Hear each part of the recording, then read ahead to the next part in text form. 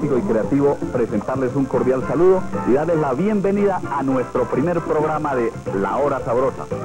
La Hora Sabrosa no pretende nada distinto a invitarlos a que compartan con nosotros alguna sonrisa, producto de nuestra vida cotidiana, del acontecer nacional o de todo aquello que nosotros consideremos fundamental como elemento generador de humor. En la hora sabrosa hemos reunido a un grupo de personas que a través de muchos años han estado comprometidos con la tarea de hacer reír. Y esperamos que esa virtud nunca se acabe, para que todos los sábados de 6 a 7 de la noche por la cadena 1 podamos reunirnos a compartir en compañía la hora sabrosa. Bienvenidos. Buenas tardes, señor juez. Hoy le traigo estas dos palomitas. Ay, ay, ay. Me queda usted cansado de cargar a ¿Ustedes sí saben por qué están ahora en esta oficina? Sí, porque usted nos mandó llamar. Se les acusa de haber robado un humilde albacete de venta de zapatos. ¿A ustedes no les dio remordimiento? Yo sí, señor juez, yo sí le digo que a mí sí me dio mucho remordimiento. A mí también me remordió. Sí, me remordió porque había un perro en el almacén y me mordió dos veces. O sea, me remordió. Usted a estar por aquí, vamos a dar una vueltita corriendo. Uno, dos. ¿Qué Casiano, qué hace? ¿Qué, profe? Aquí estudiando sumas, porque es que no voy bruto, vea.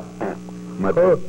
Oye, entonces ya que estás, voy a colocarte una prueba. A ver, si tú tienes 20 mil pesos y yo te quito 10 mil... Eh, Matico, Matico, ¿por qué me va a quitar 10 mil? Oiga, este. Porque es en sentido figurado. Pero vamos a hacer una más sencilla.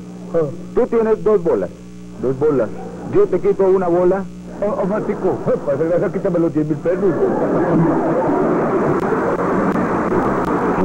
Muy bien. ¿Qué se le ofrece? A ver, doctor, yo vengo a darle poder para que usted me inicie un proceso de divorcio y consecuente liquidación de la sociedad conyugal.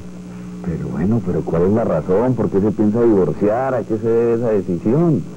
Bueno, lo que pasa es que mi esposa quiere estar haciendo el amor a toda hora. Pero eso es una bobada. Si su esposa quiere hacer el amor a toda hora, otros hombres estarían felices. Por eso, todos los hombres del barrio andan felices.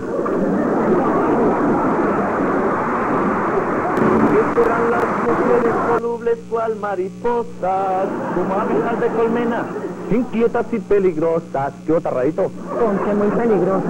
Muy bonito el señor llegando tarde y dejándome el almuerzo servido. ¿Por qué llega hasta ahora? ah? Ahí usted no se ha mirado un espejo, ¿qué? Antes que vengo. Mire, no sea cínico que yo estuve desvelada porque a usted no le dio sino por llamar a una tal Matilde toda la noche. Matilde. Mm, Ah, Matilde. Matilde, mi amor, es una yegua que le tengo mucha fe y le apuesto todos los domingos en el hipódromo. Ah, sí. Pues ¿cómo le parece que esa maldita yegua la estuvo llamando todo el día por teléfono?